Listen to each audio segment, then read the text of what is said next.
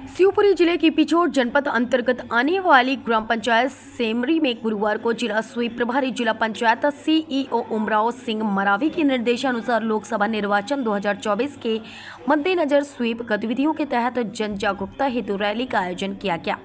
सचिव अजब सिंह लोधी ने बताया कि आगामी लोकसभा चुनाव में मतदान शत प्रतिशत हो, इसके लिए ग्राम पंचायत में दीवार लेखन कराकर प्रचार प्रसार किया जा रहा है। साथ ही मतदान केंद्रों पर मिलने वाली सुविधाओं के संबंध में भी लोगों को जानकारी दी जा रही है। गुरुवार को आयोजित मतदाता जागरूकता रैली के दौरान जनपद सीईओ सृष्टि भदौरिया एवं ए घनश्याम झा द्वारा ग्रामीणों को चुनाव का पर्व, देश का गर्व थीम पर त्यौहार, पैम्पलेटों का वितरण किया तथा लोगों को शत प्रतिशत मतदान करने की समझाइश के साथ अपील की तथा सारे काम छोड़ दो, सबसे पहले वोट दो।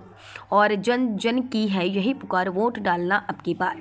के नारे लगाते हुए जन जागरूकता रैली निकाली गई। इस जागरूकता रैली में आजीविका मिशन की महिला सदस्यों के साथ साथ गाँव की आंगनबाड़ी कार्यकर्ता सहायिका, आशा कार्यकर्ता तथा ग्रामीण जनों ने सहभागिता की।